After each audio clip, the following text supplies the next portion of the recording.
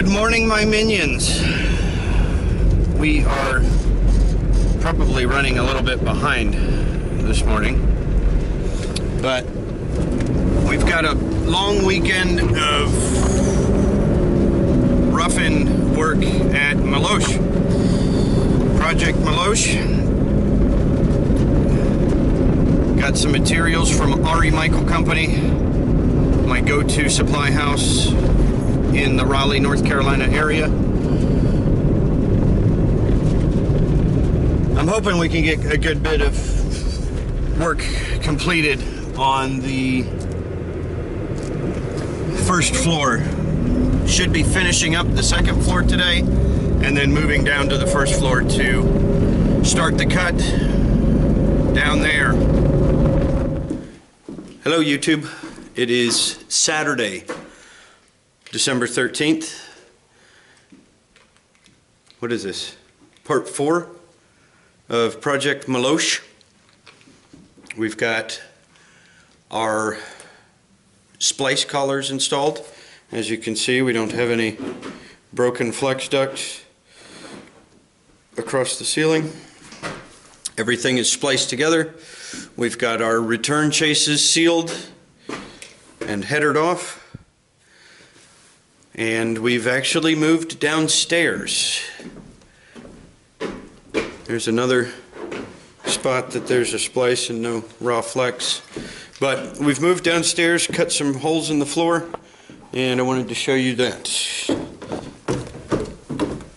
So we've got a bunch of flex piled around down here. We've got two registers that will go into this kitchen area. One back here somewhere probably, one here at this window. We're going to go with two on this room as well, one here, one here. We've got a return in the floor, another return in the floor, a register at the front window, got another return here in the living room in the floor, under there somewhere.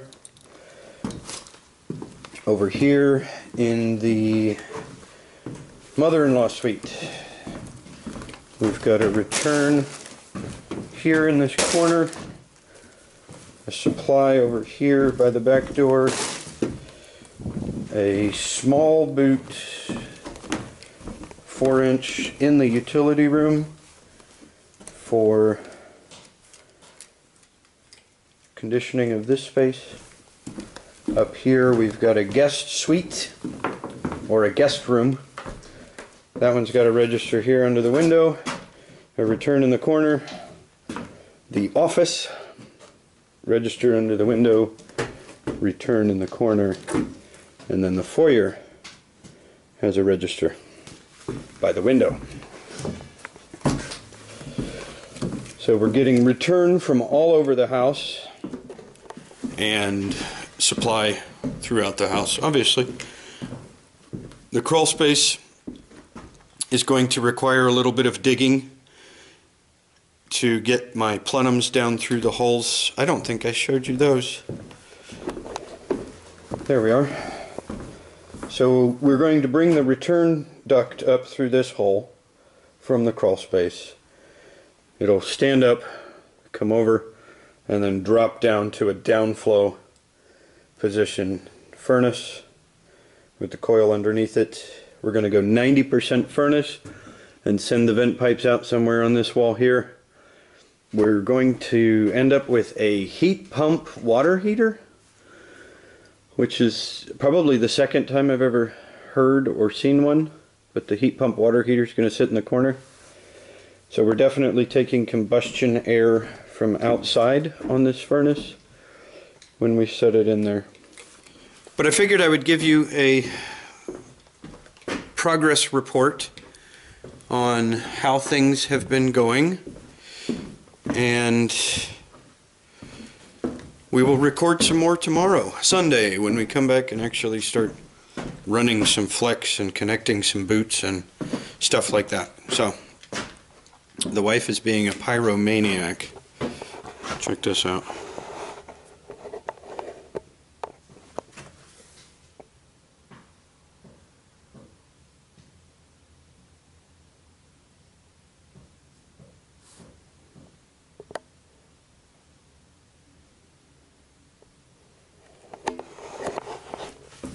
She's trying not to catch her hair on fire. Anyway, I'll check in with you guys tomorrow and we'll upload Sunday evening. Thanks. We've made some progress today. Didn't get anything in these holes yet, but we went through the hole several times. We've got a lot of our, all of our boots cut in, except for the two in the kitchen. We're waiting on those at this point. So we've got a small supply in the utility room, a return in the mother-in-law suite, a supply in the mother-in-law suite.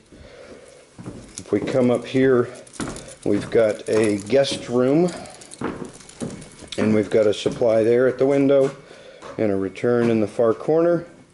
Up here in the office, we've got a return in the corner, a supply at the front window. We've got a supply at the front door.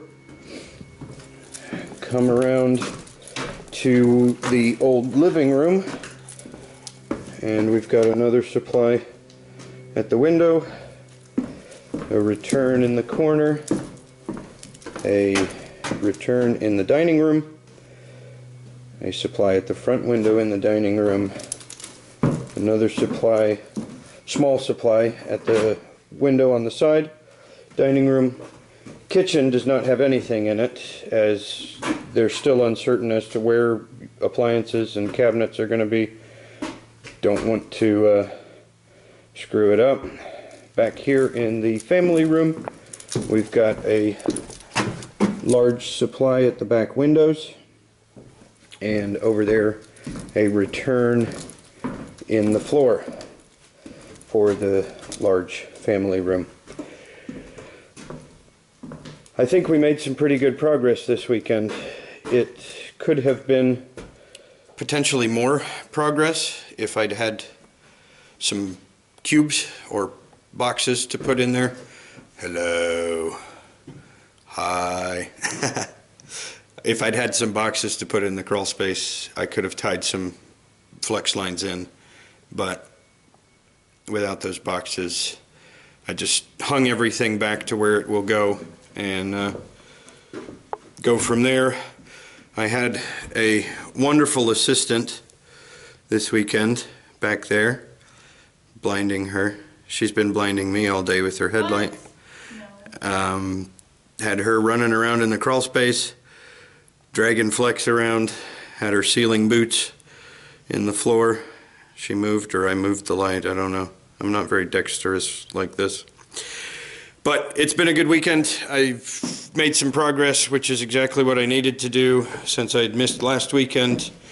Upstairs is finished as far as what's going to get covered by drywall. A couple of very minor things that I'll address next weekend when I come back to do the distribution boxes for downstairs. And I think I'm going to go ahead and throw the plenums in next weekend too, so that we've got everything tied in and connected. So thanks for watching. Like, subscribe, comment, and share. Boo. We'll see you next weekend.